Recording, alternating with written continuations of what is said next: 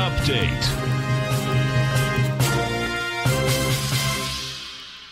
Welcome, folks. We had the Dow Industrials finished down 291, Nasdaq off 67, S&P's down 25. Gold, gold contract up $12.80, trading at 1807 with volume. Gold's on an ABC structure on the way up. You get a price projection out here of 1894.60. Silver, silver finally caught a little bid, uh, up 8 cents, $23.88. Uh, Silver's on its way to 25 bucks. Oil. Oil flat today, $70.34 a barrel, notes and bonds. These are the Eveready bunnies, folks, in a monster way. You had the 10 year up 10 ticks, trading 133.19. 10 year right now is yielding 1.27.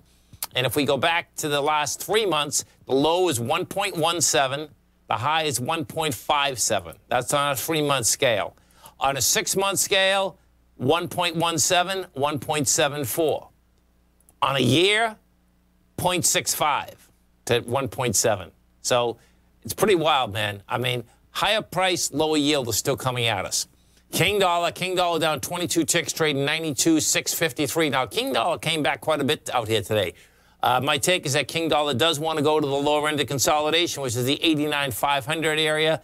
Uh, we'll see what happens uh, tomorrow because you rejected lower price out here. It's still finished in the negative, but you were down 300 ticks inside King dollar. Euros at 118.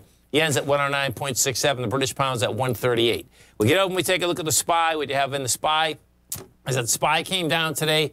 Uh, big volume again, 73 million. You know, not as much as yesterday. Yesterday had 83, but that's that's big enough volume to say your next step down is uh, 436, and right now you're at 444. NDX 100. Now this is going to be the one to. Uh, well, I, I, like watching the NDX anyway. And you, you got you got a little expansion of volume. You get 40 million, man. We did 40 million Friday. Yesterday, you did 48. Uh, this is going to be intriguing overnight here. What's going to happen with uh, the good old Qs? Because the Qs are building cars now. They're building cars to try to get. See, there was there was strength at 373, and with it, the exact number is 373.91.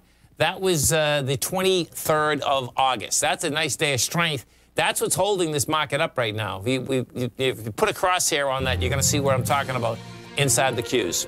Have a great night, folks. Have a safe night. Tell your friends about TFNN. Come visit Tommy tomorrow morning, 9 o'clock. Kicks us off. Great show. Have a great one, folks. Have a safe one.